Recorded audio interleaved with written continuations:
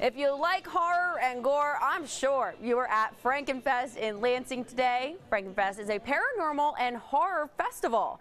There's cosplay, a Frankenstein exhibit, vendors, the mystery machine, and paranormal experts to talk to.